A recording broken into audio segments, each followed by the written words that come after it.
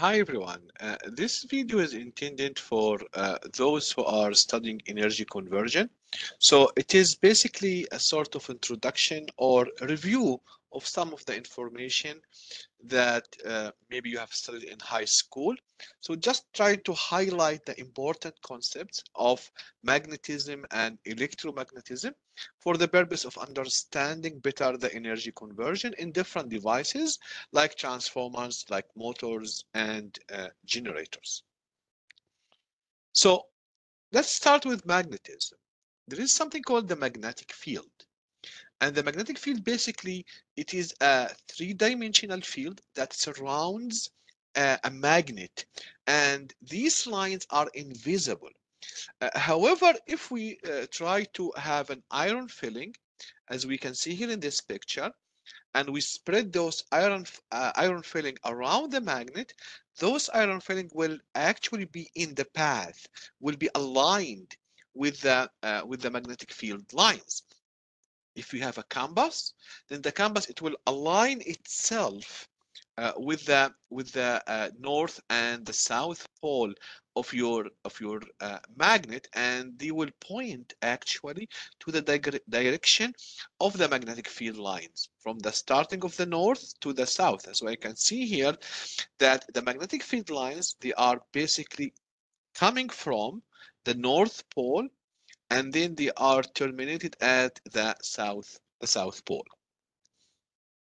Now these magnetic field lines represent what we call the magnetic flux. Okay? And as i mentioned it comes from the north to the to the south. Now when we look to these uh, magnetic field lines we'll see here at this location. At this location they are close to each other. So we say that the magnetic flux density is high here close to the poles. Now if you go away from the magnet or from the side to the magnet you see that the distance between these lines are getting bigger and bigger and means that the magnetic field uh, strength or the magnetic flux density is low at these areas. Now any magnet has a north and a south pole. And regardless how many times you try to cut the magnet into halves to small pieces, always you will have north and the south poles. And as you might know that if you have the magnets that north close to the south, then you will have an attractive force. If you have both are north and north uh, poles, then you will you will have a uh, repulsive force between uh, between the two. Or they will repel from each other. Now what is a magnetic material? A magnetic material is the material that can be magnetized or changed into a magnet. Not every material is a magnetic material. We know that there is a difference between a conductor and uh, an insulator or dielectric material. A conductor can allow the current to flow or the electrons to flow, but the dielectric material, no, it will not allow the current to, to flow. So this is a difference between a conductor and a non-conducting material. Now for the magnetic material is a bit different.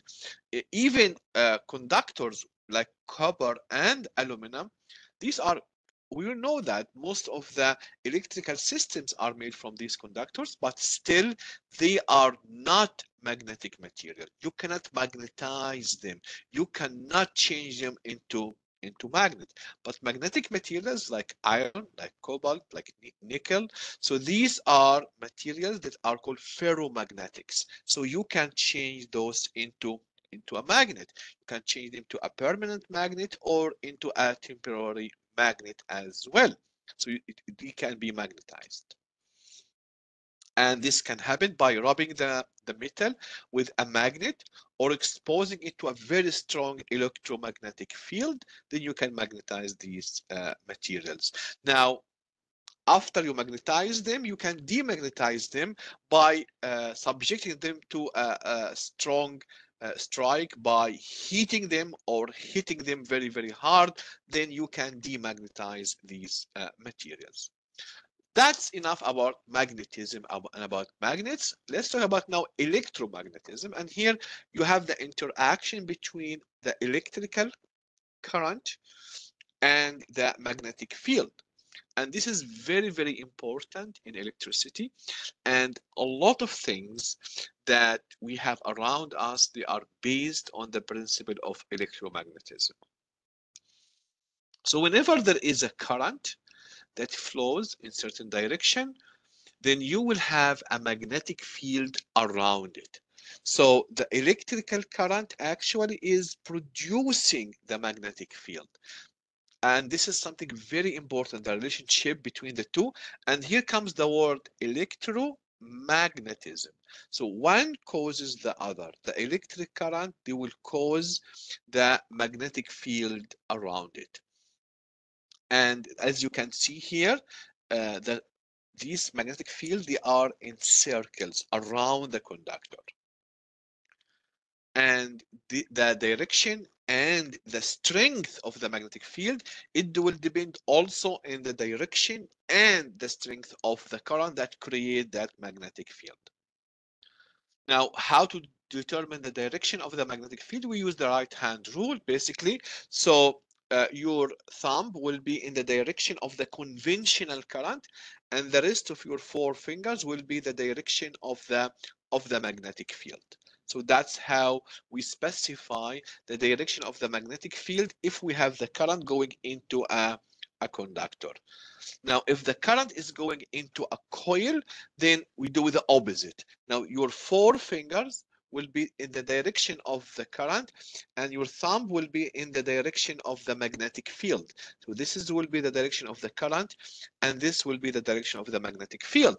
So in this case here, the magnetic field will be uh, emitting from this side and terminating at the other side. So this will be your north pole and this will be the south pole because we agreed that in a magnet, the magnetic field lines goes from the north to the south. So here you are creating an electric magnet and you are actually controlling where is the north where is the south pole because if you reverse the direction of the current then you can reverse the north and the south pole the last thing I'd like to talk about is Faraday law or of induction.